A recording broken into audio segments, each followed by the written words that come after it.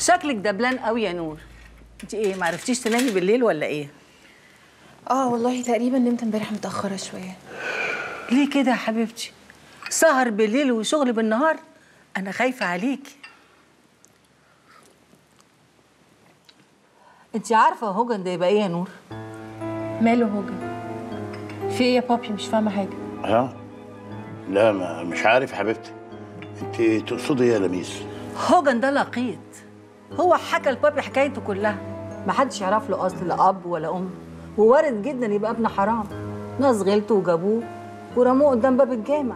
أنا أنا عايز أقول لك يعني يا, نور لو أنت مش حابة علي وحابه يعني كزوج أو حبيب مفيش مشكلة حبيبتي.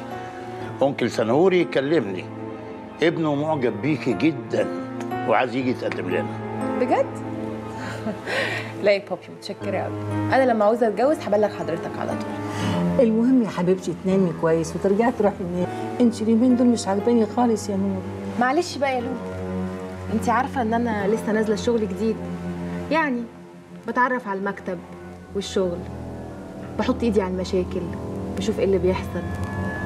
شوية كده وهرجع لطبيعتي ما تقلقيش. وأنا رحت فين يا حبيبتي؟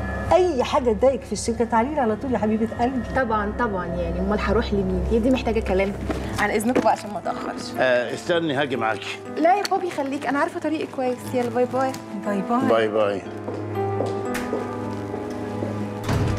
مش قلت لك؟ مش قلت لك الواد اللي اسمه هوجان ده مش سهل وملا دماغها تحسيبه يمشي كده ويعيش حر طريق بعد كل اللي عارفه؟ من إمتى وأنا بسيب حاجة ورايا يا لميس؟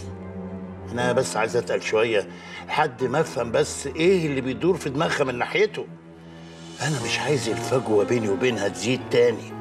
أنا ما صدقت انها نزلت الشركة. طبعا يا حبيبي. بس ما ينفعش نور تنزل اليومين دول الشغل خصوصا بالحالة اللي هي فيها.